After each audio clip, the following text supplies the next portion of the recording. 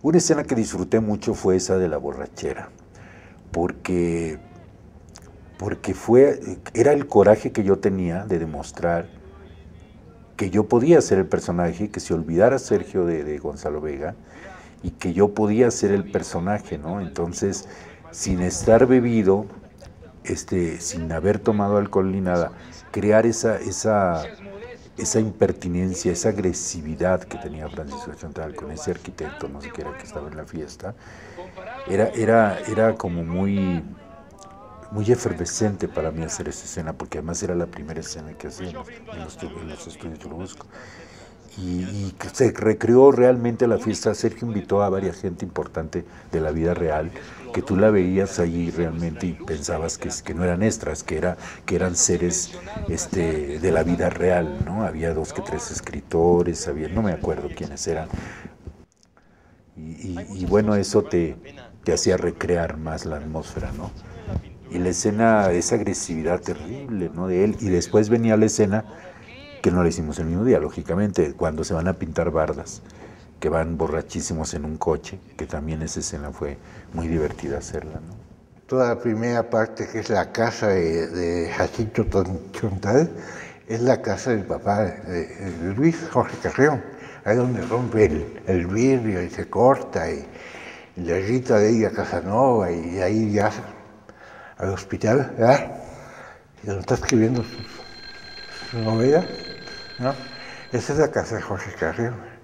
Hay una escena, por ejemplo, cuando ella llega a ver lo que él está enloquecido, así totalmente neurótico y rompe libros y todo esto, y se inyecta, se saca sangre de una vena y empieza a echarla en la pared.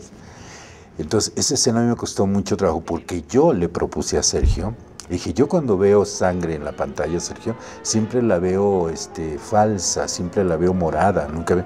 Digo, ¿qué te parece si yo pues la locura, cuando estás joven y no sé. ¿Qué te parece si yo me saco realmente sangre en el momento que haces la... Ah, perfecto, me dijo él. Entonces, imagínate, aplicarte, sacarte tú mismo la sangre. Luego empecé, para mí era un poco traumático eso, ¿no? Y luego rompía un cristal, me acuerdo, ya en el delirio total, rompía. Toda esa secuencia también creo está, está filmada siempre, una secuencia casi toda. Entonces, toda la película fue, fue un poco caótica en ese sentido, ¿no? Porque el tema por sí solo lo era. Esa parte del primer manicomio está construido en set. Entonces trabajamos en los Churubusco, el primero. Son, son esas cuantas escenas, ¿no? Este, eh, luego está el director del manicomio, se llama... La de los electroshocks, que a fin de cuentas se, se resolvió por medio de, de recursos este, podríamos decir, no voy a revelar qué, pero era una especie como, como cuando recurres a, a, cosas de maquillaje, ¿no? Porque cuando te aplican los electroshocks te viene una especie de, de convulsiones y tiempo después este, eh, emites mucha espuma y aparte de eso este, se te paralizan ciertos miembros y aparte de eso defecas. Entonces, pues todo eso se tuvo que recurrir a, efectos, ¿no? En una escena muy fuerte, todo, todo la, la, ceremonia o cómo se lleva a cabo la aplicación de los electroshocks. El doctor ahí es este, el papá de Gabriel Retes, Ignacio Retes, es el doctor que aplica los electroshocks. Pues todo el procedimiento paso por paso, ¿no? como le sale la baba, porque le ponen entre los dientes para que no se rompan la dentadura ni se muerdan a sí mismos, los espasmos que deben tener, cómo se aquea el cuerpo, dónde exactamente les ponen las, las, este, las, las, las conexiones para las corrientes eléctricas, cuánto dura exactamente. Vivirlo era muy, muy difícil. No, o sea, y sabiendo que tal vez a una persona en la vida real, perdón, le había pasado, ¿no? Entonces, para mí actualmente eran escenas dificilísimas, muy difíciles de hacer.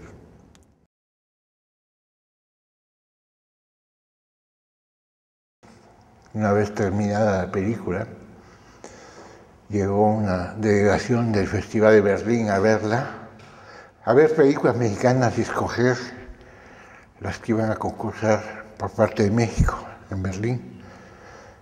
Y escogieron oficialmente Infierno Todo Temido para concursar oficialmente en, el concurso oficial del Festival de Berlín. Y para lo cual pidieron una, una copia subtitulada en inglés. Y este, para entonces ya habían visto la película los funcionarios del cine mexicano de Margarita Portillo para abajo, a Hernández, eh, Campos ya lo habían corrido, duró ocho meses en el cargo y lo, había sustituido algún personaje nefasto del grupo de Margarita, ya me acuerdo quién era. Cuando la vieron, se, se espantaron, dijeron que era una película comunista y que esa película no se podía exhibir en México ni en ningún lado. Sin embargo, los del Festival de Berlín insistieron que esa es la película que querían para el festival. Entonces empezaron a dar largas al festival con eso de la copia en inglés. Nunca la tradujeron en inglés y nunca la enviaron. A mí me llamó el director entonces de, de cinematografía, no me acuerdo cómo se llamaba, para decirme que no me atrevía yo a decir nada ni a hacer nada, porque la película estaba congelada, era una película comunista y era una película que yo había hecho a sus espaldas, no sé qué y no sé cuánto. El festival, de todos modos, ah, iba a haber un seminario en Berlín sobre cine latinoamericano. Y como yo iba a concursar, me habían invitado al seminario también. Entonces me hizo buena la invitación al seminario y me mandaron mi boleto y todo. Y me dijeron, señor Jovic, su película no puede pasar porque el gobierno mexicano no quiso. Pero si quiere, traiga usted un, un, video. Entonces, este, eran Betamax. Casi no había VHS en México. Y pues le organizamos unas funciones privadas para que usted enseñe su película. Fuera de concurso y fuera de todo, pero si usted quiere. Y bueno, yo fui al seminario, participé en él, estuve en Berlín en el, 79, eh, no, en el 80, la película es del 79, estuve en Berlín en el 80, y sí, me proporcionaron unas salitas de esas en el mercado para que yo pudiera invitar a mis amigos y gente que estaba interesada en ver la película. Y ahí había un representante de, RTC, porque no existía en China todavía, de RTC, que un día me tocó en la noche a, mi cuarto, estaba Miguel Litín, el director chileno, conmigo estábamos ahí platicando, llegó, este nefasto señor que no me acuerdo cómo se llama, y se sentó y me dijo, usted acaba de exhibir su película sin permiso del gobierno mexicano. Usted ha cometido un delito. Y, este, y, le hemos extendido la mano y usted nos traicionó. Entonces, este, usted va a ser este, demandado en México. Se vengo a decir oficialmente y formalmente de parte de la directora Margarita López.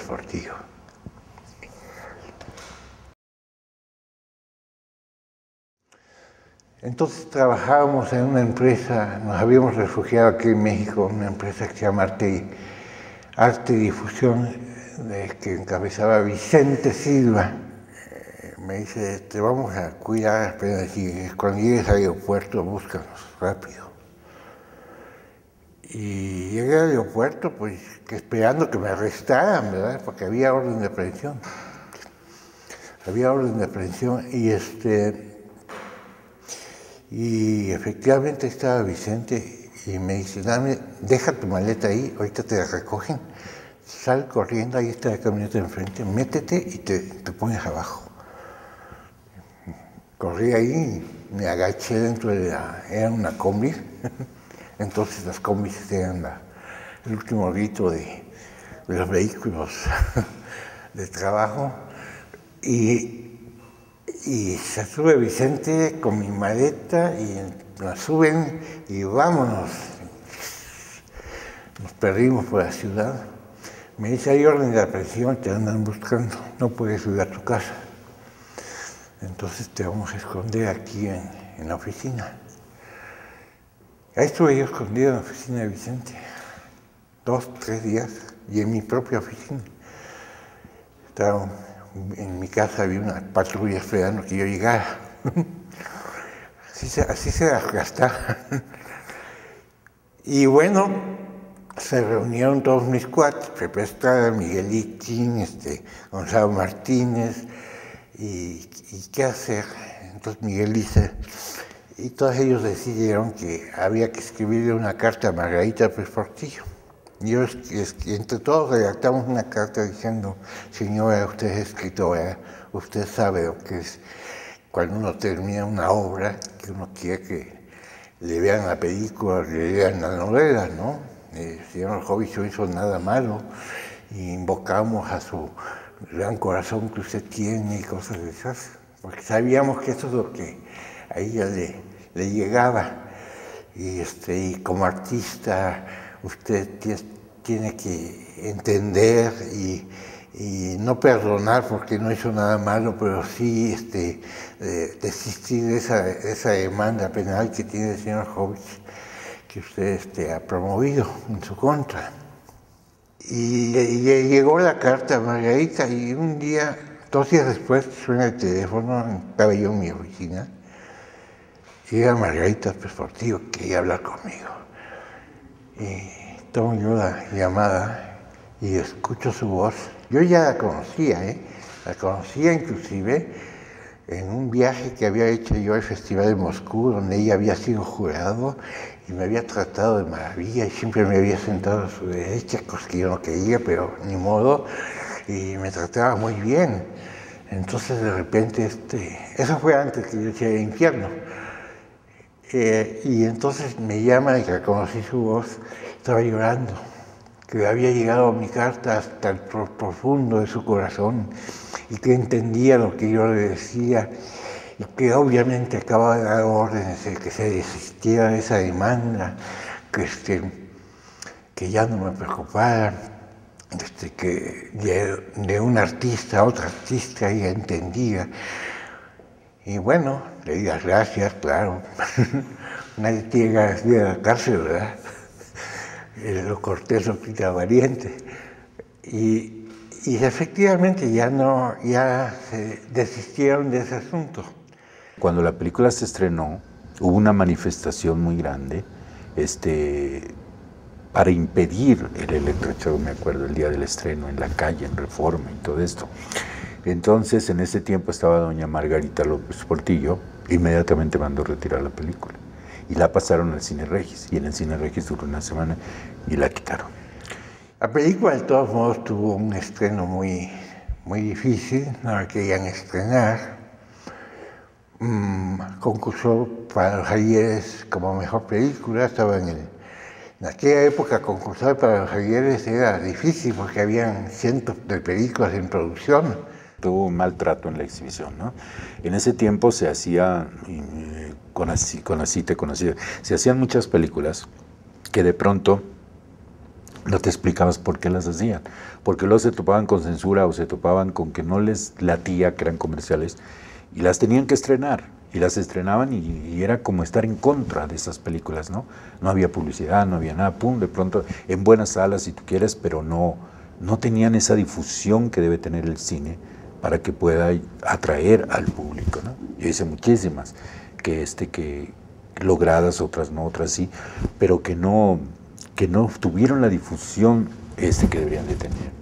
Y bueno, no sacó premio Mejor Película, no, ya no me acuerdo contra qué otra película concursó. Yo pienso que debió haber sido la mejor película del año, porque sí era una película impactante en esa época, está bien hecha. Pero sí ganó Diana Bracho Ganó el ayer por mejor actriz y Manuel Ojeda por mejor actor. yo había obtenido un Ariel por el Apando como revelación y estuve nominado ese año con el Ariel por las dos películas que yo había hecho, que fue Fuego en el Mar y Canoa, y el tercero era Valentín Trujillo con Perro Callejero. Entonces, según me decían los, las personas que estaban en ese tiempo en la academia, que estuve a un punto de perder. Pero yo decía, qué vergüenza estar tú mismo compitiendo contigo mismo con dos películas, tú, tú mismo con dos películas y un tercero que te ganara ese tercero, no porque no tuviera calidad lo de Valentín, sino que simplemente yo me consideraba en ventaja en cuestión de, de competencia, ¿no? Y me lo dieron por el infierno.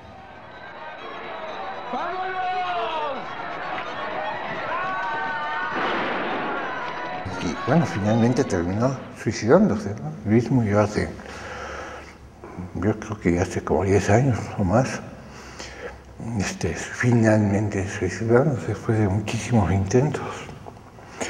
Sucedió lo del cuento del perro y el lobo, ¿verdad? Siempre se cortaba las venas y llamaba para que lo vinieran a, a salvar. Y, este, y esta vez llamó, pero nadie llegó ya todo el mundo estaba un poco cansado de, ya no le creían. Pues era muy, muy de la época, ¿no? La historia, la película en sí. Es una película que ha sido muy criticada también, porque, pues yo creo que por la misma, la misma forma, la misma consistencia de la historia, no es una historia agradable, ¿no? Y al mismo tiempo, este, todo ese cine que se hizo en esa época fue muy criticado.